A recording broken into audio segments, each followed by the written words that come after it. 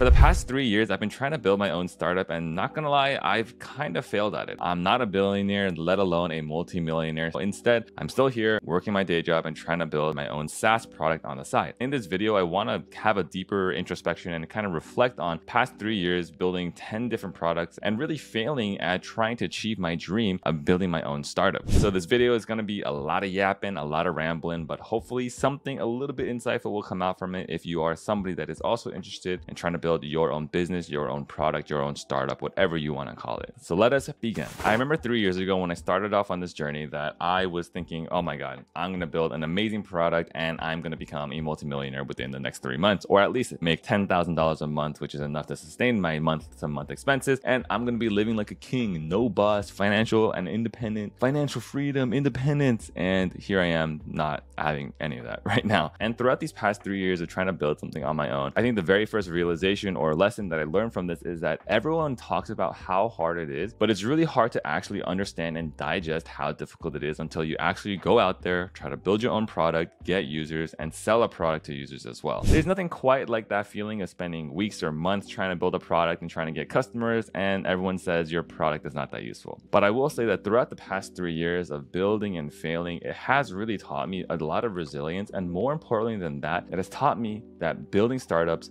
building products, building my own businesses is something I truly love to do. In the early 2000s, when startups were still pretty fringe and niche, startup accelerators like Y Combinator were still pretty new. They were not seen as like the cool, sexy thing to do. They were kind of looked at as a little random. Like, wait, what? You're gonna be building a startup? What the heck? But now, over the past two decades or so, the narrative has really shifted where a lot of traditional high achieving people they look at building a startup as their next stepping stone after going to a good college, after getting a good job post grad, after climbing the corporate ladder, the next thing is like, yeah, I think I should build a multi-million, if not multi-billion dollar company. So it went from becoming something that was countercultural and almost fringe to becoming very mainstream and norm. And with this in mind, I think everyone has suffered from this entrepreneurship porn where everyone's like, I want to build a startup, I want to do it. When push comes to shove, they don't actually want to do that. These people that say that they want to build companies, that say they want to build startups, they want to be able to say that they're doing it rather than actually enjoying going out and doing it themselves. And earlier on in my journey of trying to go out and do this whole startup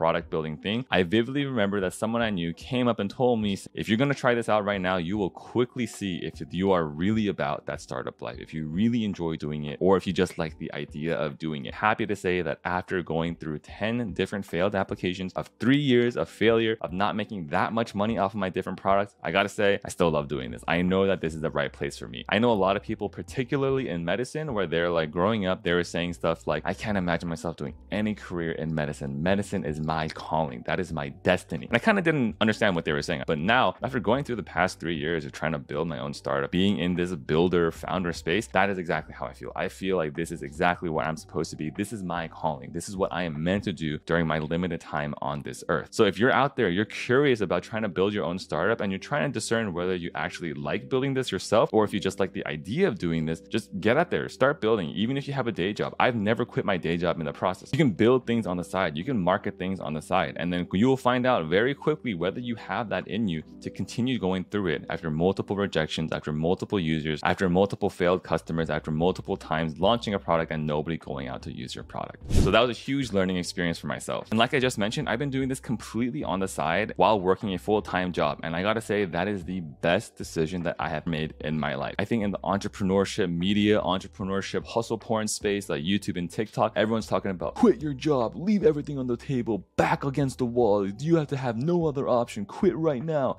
And I get the sentiment behind it, but I also think that there's a lot of value of staying in your day job and actually working away at these things on the side. I have two primary reasons why I recommend not quitting your day job and instead trying to build a product on the side. Number one is the fact that I think you will much more quickly and easily find out whether or not building a startup or being in the entrepreneurship space is for you. I'm a firm believer that with anything in life, like going to the gym or eating healthy, and if it is important enough for you, you will budget time for it. You will make time into your schedule. And likewise, I think that if you're really about that life of building and being an entrepreneur and building your own product, you will find that time before work, post work, maybe during your lunch break to go build something, build a side project, at least launch it into the world and get a couple of users. I think it's a really great filtering mechanism to see how much you really enjoy this process, that you like it so much that you're willing to do it before and after work hours as well. And the second reason why I think it's actually important to build things on the side and not quit your job immediately is because just financial runway is super important. I think when you quit your job and you don't have a regular source of income, it leads you to being a lot more short term thinking with the products that you build. Maybe doing short term deals just for an immediate cash grab that you normally wouldn't do if you had a lot of capital coming in. And by having this regular capital coming in from my day job, I'm much more open and willing to experiment with these side projects as well. It opens up a lot more avenues of like maybe outsourcing some crazy logic into a third party API rather than building it yourself. And then it can also provide you leverage with finding other people to help you out with marketing rather than you handling the marketing yourself if you're not that good at it. And I also think just having regular income month over month just to provide for the bare minimum of like housing and food, building your own business is already stressful enough that if you were to do it with the additional stress of not having money, of having to worry about paying for rent, paying for food, I don't know how exactly I would handle that. I believe that that allows you to do the best work on your business by not being stressed out by a bunch of other factors. I actually think, especially in the early stages, there's actually a lot of doing something and waiting a couple days, maybe a couple weeks to see the results of it. I have this conversation a lot with my co-founder. My co-founder and I were currently building this product called the Content Marketing Blueprint, which is essentially a database of SaaS products that have successfully grown and marketed their product on social media. So you can poke around, see the content that they're posting, and get inspiration for your product as well. My co-founder and I, we've talked a lot like, oh, should we just go all in on this? But in the end of the day, I think it's a very different reason to go quit and go all in when you're still searching for product market fit versus when you already have product market fit. For example, if we built a product that it was gaining $10,000 every day, users were exploding, servers were constantly crashing, then yes, that is a very clear sign that we should go all in because in that moment, time is in fact a limiting factor. We have active bugs, our app is crashing. The only way to fix that is by putting more time into protecting our application. But on the other end of the spectrum, if you are building something and you're still searching for your initial users, you're still searching for your initial product market fit, having more time on your hands is probably not going to change that. You still have to find that initial product market fit. You're going to have to find that initial momentum, that growth momentum in your product. And oftentimes that's not going to be just a more time or more hours spent type of thing. It's going to be much more of working smarter rather than working harder. Another realization that I had during this three years of building 10 different apps and kind of failing throughout the process is realizing that there are certain types of entrepreneurs out there in the world. And it's really important for you to figure out what type of entrepreneur you are. I believe that there are kind of like two archetypes of entrepreneurs out there. Number one being an entrepreneur that doesn't care about the product or the niche that they're building in. As long as they see an angle that they can get in and exploit that angle and win and make money there, they can force themselves to become obsessed with that product. And the other type of entrepreneur, which I am much more like, is you are somebody that you have to really care about the niche, the customers that you're serving to push yourself through to build a really great product for them. The reason why I think this is really important is because with any product or any startup that you go out and try to build, there are going to be tough times, period. No matter what. You have to figure out where is your energy source going to come from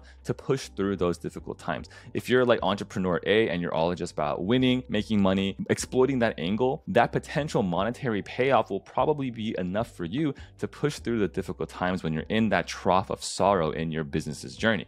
But for myself, I knew that I couldn't do that. I tried that with one of my older products, which is called perfectinterview.ai. It is like an AI powered job interview prepping tool. And I just realized I don't care that much. I'm not passionate about helping people land their jobs. It doesn't pump me up in the morning. So when things got tough, I wanted to quit immediately. But on the other end, with the new product that we're building, the content marketing blueprint, I'm way more passionate about the niche that I'm in, helping businesses grow with the power of video and social media. Because of that, when things get tough, and trust me, there have been tough times already, I was still able to find that energy and push through because I knew that I loved the space so much. And that is why I think you need to figure out what type of entrepreneur you are. There are certain archetypes, and you got to figure out what is your motivating factor for during this process because it's going to be hard, and you have to figure out during that tough time, during the hard times, what's going to help you push through those difficult times. And I think the final learning slash reflection that I had during this process is that it's so easy on a day-to-day experience to feel like I'm not making any progress. And I think I felt that way because when I initially started this journey three years ago, my end goal was to eventually quit my day job and make a living off of the things that I build myself. But here I am still working at my day job, not being able to make enough money from my own products to live off of them. And even though it feels like I haven't made any progress and it feels like I'm still at the same starting point, that's really not the case if I look at at it objectively. So I've been building for the past three years, and probably for the first two years, I built probably seven different products. And I think collectively, all seven products made a hundred bucks. But then in this past year, of 2024 alone, I have made